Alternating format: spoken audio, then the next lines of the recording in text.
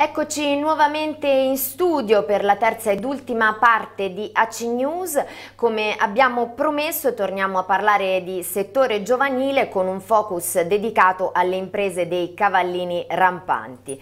Il weekend che ci siamo infatti lasciati alle spalle ha visto iniziare tutti i campionati del vivaio Amaranto, vittorie per gli under 17, gli under 15 e gli under 12, sospesa invece la prima gara di campionato per gli under 16 a Pesaro a causa delle condizioni eh, meteorologiche avverse e poi perdono invece gli under 14 e gli under 13. Entrando più nel dettaglio, la under 17 di Dante Gioacchini torna subito alla vittoria dopo lo stop subito contro la Carrarese, contro l'Arzachena dopo un primo tempo privo di gol, gli Amaranto hanno sbloccato il risultato con De Pellegrin e poi messo i tre punti in cassaforte con la doppietta personale firmata da Anselmi.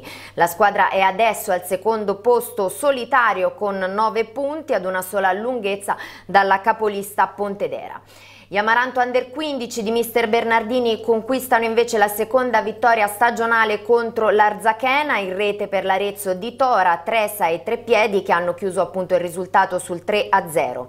La formazione 2015 di mister Belei è purtroppo incappata nella seconda sconfitta in altrettante partite, la Lucchese passa infatti per 5 a 1 e all'Arezzo resta soltanto la rete della bandiera firmata da Sobì sul calcio di rigore.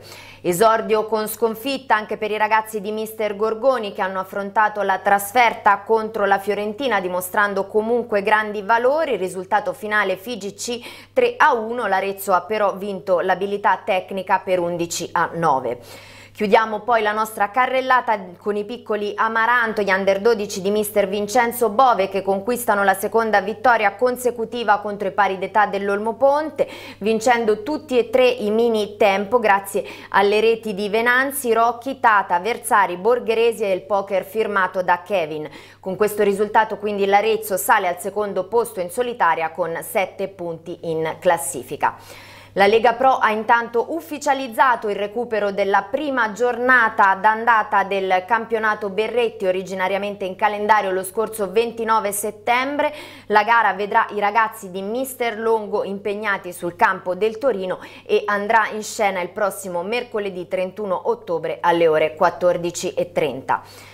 Settore giovanile, tessuto imprenditoriale aretino e successi della prima squadra Maranto sono gli argomenti al centro dell'intervista al presidente Giorgio Lacava, incontrato ieri durante la conferenza stampa dell'Arezzo con Ubibanca. Ascoltiamola insieme. Presidente, questo è un altro giorno importante perché arriva anche un supporto per il settore giovanile, quindi un altro marchio comunque del territorio che si lega anche al vostro vivaio. Assolutamente sì, Ubi è un'eccellenza nel sistema bancario e speriamo che anche il nostro settore giovanile diventa un'eccellenza. Settore giovanile che tra l'altro sta andando molto bene, che sta facendo degli enormi passi in avanti a livello di crescita e quindi si spera che insomma, possa crescere di pari passo anche con quello che è il tessuto del aziendario che eh, circonda Arezzo. Sicuramente sì, ma dai, io direi che dobbiamo essere veramente soddisfatti.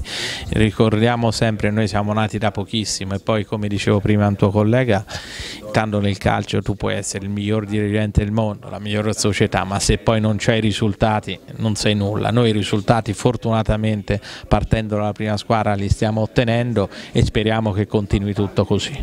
Il campionato della prima squadra infatti sta andando oltre forse le... le più rose previsioni, come dicono quelli che parlano bene. Adesso ci attende una trasferta molto importante per una settimana di lavoro comunque normale, disteso. Normale e quindi speriamo che prepariamo il tutto bene per Olbia, ieri hanno vinto su un campo difficile come Carrara, quindi è una squadra ostica, ma questo, tutte le squadre in quel girone a parere mio sono ostiche, noi abbiamo visto anche la stessa Albissola di domenica, è stata una battaglia vincere quella partita dove può arrivare l'Arezzo, non soltanto la prima squadra ma la società. La società deve arrivare dove ha programmato, e cioè il, solito programma triennale che diciamo e crescere piano piano. Poi il calcio, eh, nel calcio i risultati eh, non puoi sapere dove una squadra può arrivare e quindi eh, incrociamo le dita e speriamo che continui sempre così positivo per tutti.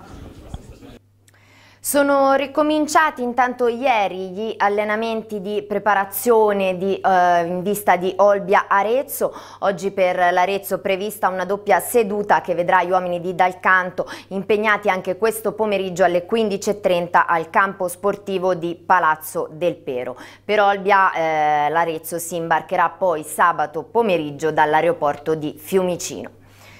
Sarà l'allenatore dell'Arezzo Alessandro Dalcanto l'ospite d'onore della cena di autofinanziamento che Orgoglio Amaranto ha organizzato per dopodomani venerdì 26 ottobre a Villa Severi grazie al patrocinio della provincia per il progetto We Are. La cena avrà inizio alle ore 20.30, prevede un contributo di 20 euro per gli adulti e di 10 euro per gli under 14. Nel prezzo sono ovviamente comprese tutte le portate dall'antipasto al dolce e anche le bevute bevute. È obbligatoria la prenotazione entro venerdì alle ore 13 presso tre dei punti Amaranto su cui si poggia il comitato, quindi l'orologeria Pernici di via Cavour, la tabaccheria Giotto presso in piazza Giotto e poi la panetteria Gastronomia Fonterosa via Anconetana. Orgoglio Amaranto, oltre a ringraziare la società sportiva Arezzo e dal canto per la disponibilità, invita tutti gli sportivi a partecipare, si tratta infatti di un'occasione importante per raccogliere fondi da utilizzare per l'allestimento dei numerosi eventi in calendario nelle prossime settimane. Termina qui l'edizione di oggi di AC News, io vi ricordo l'appuntamento questa sera con la trasmissione Amaranto World condotta dal direttore di Arezzo Channel Gianni Brunacci, appuntamento alle 19.50. Io invece eh, vi saluto per oggi, ci ritroveremo domani con AC News sempre alle 13.20, grazie per essere stati con noi e buon pomeriggio.